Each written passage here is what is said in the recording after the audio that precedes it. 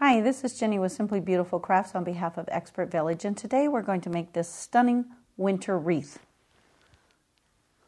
To make this wreath, I started out, of course, with my pretzel ring, and I found a pick with these wonderful silvery green leaves and these beautiful shiny flowers on them. I took the pick, and as you can see, I pretty much demolished it. I cut all the leaves off, and I cut all the flowers off.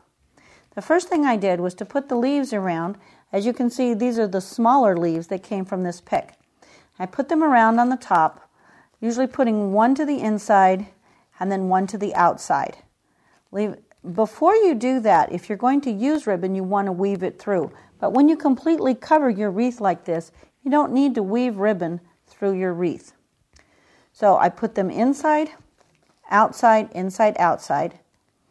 Then when I had it the way I liked it, I said, okay, that's good enough. And I took my hot glue gun, put a little bit of glue on the back of the leaf, put it into the hole just a little bit to secure it. And then I put some around underneath so that it also came from behind, giving it a thicker, fuller 3D effect.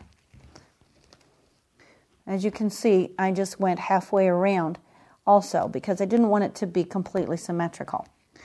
Then I placed the little flowers on it, and it took me a while to come up with how I wanted it, but I have my three, my two, my two, and my two.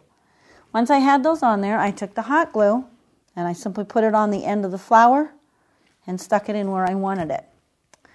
Then I used this little pick and cut off all of the little pine cones and put the pine cones two by two.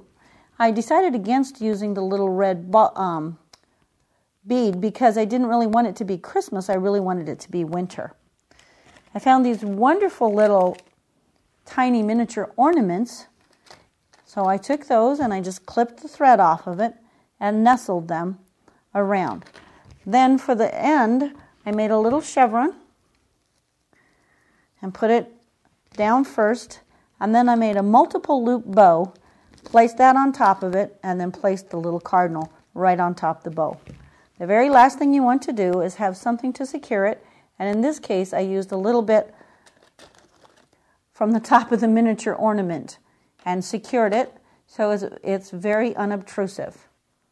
And there you have it.